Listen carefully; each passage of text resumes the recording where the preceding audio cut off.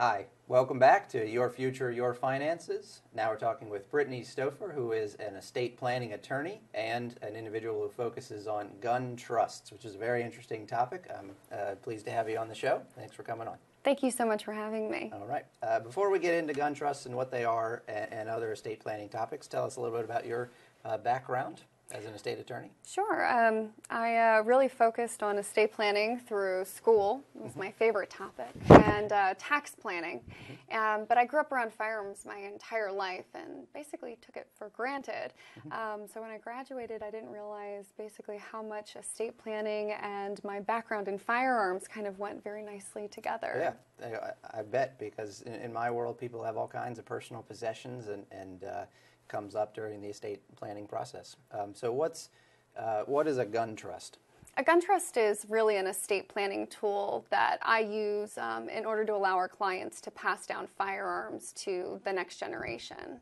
Also, it's a preferable method um, in order to allow people to purchase specific types of regulated firearms. Mm-hmm. So, passing down, so they may do follow all the rules to get it and properly store it and use it over their lifetime, but giving it to a, another generation is a completely different um, absolutely ball game. Okay, is it just a piece of paper, or like what do you do once you have a gun trust? Yes, um, you're correct. It's absolutely just a piece of paper, but um, just like any other trust, it's a list of instructions about what to do with your assets during your life, during disability, or at death. Mm-hmm. But gun trusts have specific provisions um, within them so that the client um, and their family and friends are in compliance with state, federal, and local law. Mm-hmm. So, do you ever have to represent someone because you drafted the document while they're living? I think you were talking a little bit about that when we met. Right. So an individual um, may become a prohibited person, meaning they can't actually take possession of the firearms. Mm-hmm. Um, but that doesn't mean that they lose their property rights in the firearms. They still own it, but they can't legally actually possess it. So, what the gun trust enables an individual to do is um, name a successor trustee to take possession of those firearms while that individual is prohibited um, so that they don't lose those firearms or those assets and they don't end up in the hands of the government. So, successor trustee, so they're actually, uh, it's like an entity that owns a gun. Absolutely, yes. Uh, there's lots of different kinds of trusts. There's things like family trusts and uh, all sorts of other names. Can you just work it into a different kind, or, or does it need to be a separate document? Um, I advise that we definitely do a separate document because of the separate provisions that we need to include inside of a gun trust to in order to protect them. A family gun trust won't have provisions, for instance, for prohibited people mm-hmm. or passing those firearms to the next generation to make sure that those beneficiaries aren't prohibited people. What is a prohibited people? Prohibited person um, would be, for instance, uh, an individual who's a felon, com- convicted yeah. of a felony, mm-hmm. a fugitive, somebody who has a protective order against them. Mm-hmm. So, if you have an individual gun trust, do you just have one, or is it work for everything, everything that you might own that is within this category of personal possessions? Um, it's for specific types of firearms. So not only do we just have firearms in general as assets, there's actually different categories within firearms. Mm-hmm. So there are federally regulated firearms and um, non-federally regulated firearms, or what we call Title I firearms. Mm-hmm. The federally regu- regulated firearms are things like machine guns, short-barreled rifles, short-barreled shotguns, and suppressors. What about like collectibles? Collectible guns, does that work the same way? Um, it works basically the same way. Um, we because the different types of categories of firearms are regulated differently, um, sometimes we actually recommend that they actually use separate trusts for those separate types of firearms. Mm-hmm.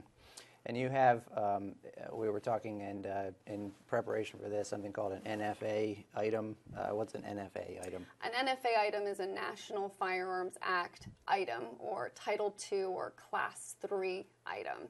Um, like I said, the machine guns, short barreled rifles, or suppressors, they fall under that category and they're regulated by the federal government. Do you think the average person who owns a firearm knows what title it is or what they need to be doing? Um, I run across different issues or different, um, I guess, uh, backgrounds with mm-hmm. firearms, and um, NFA items are becoming more popular nowadays. Um, the idea of suppressing a firearm so that it doesn't make as much noise um, is actually more acceptable, and people like it, so they can go out and shoot as much as they want, and, and the noise doesn't disrupt them. All right. So once you have this gun trust, what do you do? You you uh, you sign it and you activate it in some way. Um, your gun trust or your trust is activated once it's signed, but it's really not effective until it's funded. Um, there's a process in place in which you can um, obtain certain types of firearms, the NFA firearms, for instance, or the Class 3 firearms, and um, it needs to be approved by ATF the Alcohol, Tobacco, and Firearms Agency. It's a federally regulated agency. They approve your Form 4.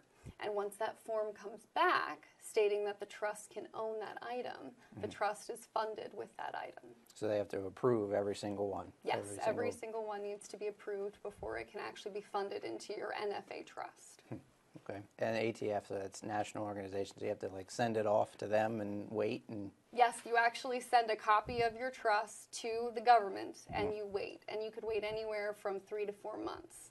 Now, a few years ago, before um, these items became very popular, it used to take anywhere from six to nine, almost a year, to get approval back from ATF. That's a very different process from having a regular trust, like a living trust. You're not sending that off to the government to be approved or anything. Absolutely not. Yeah. No, no. So, um, all right, good. Uh, well, let's take a break. Let, let's have your website in this segment, and then we'll take a break and talk some more. Um, www.marylandguntrust.com. You can find more out about uh, NFA trusts and about our uh, practice. Okay. All right. We'll be right back. We're going to take a break. Uh, you're watching Your Future, Your Finances.